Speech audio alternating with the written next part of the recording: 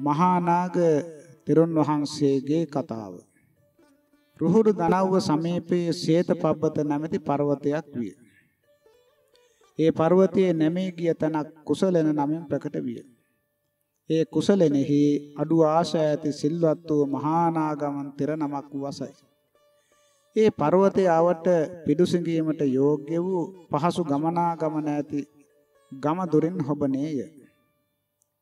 මනා සංවර ඇති දමනෝ ඉඳුරන් ඇති ඒ තෙරුන් වහන්සේ එක් දිනක් ගැපිලි වලින් වඩින්නේ අනුකම්පාවෙන් එක් පවුලක් කරා එළඹියේ.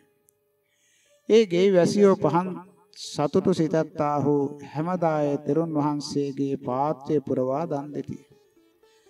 මෙසේ කරමින් අවුරුදු 12ක් ගත වූ පසු ඒ ගෙදර මව්පිය දෙදෙනා වයසට යන්නාහු දුවට කතා කොට මෙසේ කීහ. දුවනියනි ඇල් සහලෙන් බත් උයා මස් මාළුද පිළියෙල කොට ගිතෙල්වත් කොට තෙරුන් වහන්සේට දෙව. ඉතිරි දෙය කොස්සා මිශ්‍ර කොට තෝද අනුභව කරව. මා විසින් හීල්පත් කන ලදී. එබැවින් මා ගැන නොසිතවයි කීහ. ඒ තෙර නම අඳනේ ඇඳ සූර පොරවාගෙන ගෙට එන්නේ කතාව ඇසි. යසා සූර වූ ඒ යෝගී තෙරුන් වහන්සේට මහත් සංවේගයක් උපනේ. උණුසුම් වූ හෘදය ඇති වහන්සේ මෙසේ සිටිය. මොහු මාගේ මව්පියෝ නොවේති. නෑයෝ හෝ සහලේ නෑයෝ නොවේති. ප්‍රණීත වූ යමක් ඇත්නම් එය මට දෙන්න නියම කොට ඕජා නැතිද අනුභව කොට ඔහු ගියහ. ඒ ආහාරයේ පුදජන වූ මා විසින් නොවැළඳිය යුතුය. රහත් භික්ෂුවක් විසින් අනුභව කළ යුතුයයි සිතා ගන්ටිය පාසයෙන් මුදා එතනින් නැවතී ස්වකීයලයන්ට හැරී ආයේය. සිවර පැත්තකින් තබා අස්නක් පනවා නොපසුබස්නා වීරියෙන් යුක්තව මෙසේ ඉටාගත්තේය. මාගේ මස් නහරලේ ඇට යන මේවා වියලෙත්වා. රහත් බවට නොපැමිණ මේ ආසනයෙන් නොනැගිටින්නේ මෙයි මෙසේ ඊට අස්නෙහි ඉඳගෙන සිව් පිරිසුදු සිල් විමසා බැලීය. සීල විසුද්ධිය ඇති බව දැක පිරිසිදු නොනැති උන්වහන්සේ විදසුන් වඩා රහත් විය. අභිඥාසය අවබෝධ කළේය. සියලු සංයෝජනයන් සොය කිරීමෙන් සසරින් එතරට ගිය උන්වහන්සේ සිංහනාද කළේය. ඉපදීමේ කෙලවර දක්නා වූ මම ඒ කාන්තෙන් නැවත ගැබෙහි ඉපදීමට නොපෙනෙන්නේ. මේ මාගේ අන්තිම වූ ඉපදීමයි. සසරෙහි මාගේ නැවත ඉපදීම සේවිය. මෙසේ සිංහනාද කොට ආයුෂයාගේ පැවැත්ම බලා මධ්‍යාහ්න කාලයේදී පිරිනෙවෙන්නේ මේ සිතාගත්තේය.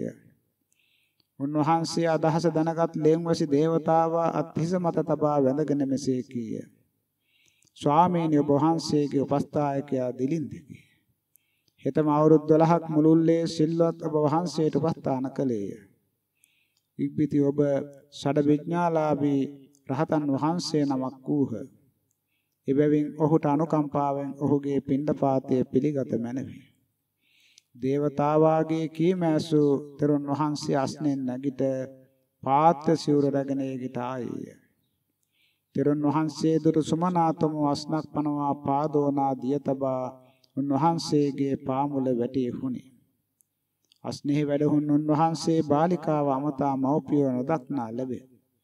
ඔහු කොහි ගියාහුද ඇසී. තෙරුන් වහන්සේගේ වචනය ඇසූ ඕතමෝ විස්මයට පැන මෙසේ සිටී. අද තෙරුන් වහන්සේ ප්‍රසන්න වූ මොහුණු ඇත්තේය. බොහෝ දාවල් වී මෙහි වැඩියේය. අස්නේහිඳ මව්පියෝ කොහෙදයි ਵਿਚාරයි. පෙර නොවූ විරූ කරුණ සතරක් අද දක්නා ලැබේ. ඒ කාන්තේම තෙරුන් වහන්සේ රහත් බවට පැමිණියේය. වත් බිඳීම කොට තමන් වහන්සේගේ ගුණයන් ප්‍රකාශ කිරීම නිසා තෙරුන් වහන්සේගේ ජීවත් වීමක් නැත. එබැවින් තෙරුන් වහන්සේ පිරිනිවෙන්නට කැමැත්තේ යයි මෙසේ සිතූ පහන් සිතින් මනාසේ තෙරුන් වහන්සේට දන් දුනි. වළඳාන එක්මනු තෙරුන් වහන්සේ පර්වතය කරා වැඩියේය. එහිදී පළඟ බැඳ වැඩ සිට හිඳගෙන හිර මුදුනට පැමිණි විට මෙසේ අදිෂ්ඨාන කළේය. යම් මිනිසෙක් මට අවුරුදු 12ක උපස්ථාන කළේ නම් ඒ මිනිසා ස්පර්ශ කළ විට මාගේ ශරීරය සෙලවේවා. අන්‍යයන් ඔසවන්නට උත්සාහ කළ විට නොසැලවේවායි මෙසේ අදිෂ්ඨාන කළසේක. නාගතරුන් වහන්සේ තෙල් අවසන් වීමෙන් නිවි යන පහනක් මෙන් මෙලව සම්බන්ධ නැතුව පිරිනිවියේය.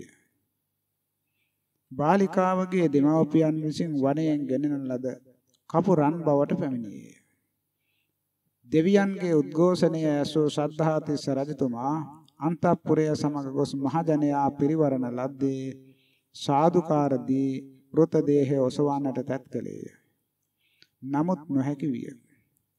එවිට රජතුමා තෙරුන් වහන්සේට උපස්ථාන කළේ කවරෙක්දැයි විචාලේය.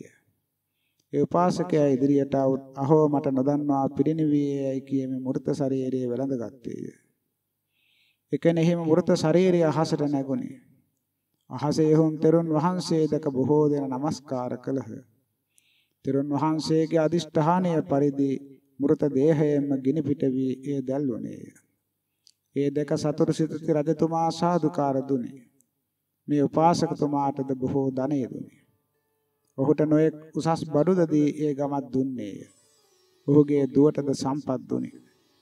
මෙසේ දස්කිනාරහයන් කෙරෙහි යම් ධනක් දෙන ලදනම් එය මෙලවදීම අපරිමිත ධනයේද අවිවෘද්ධියද ගෙනදී පරලොවදී සුගතිය ලබා දී.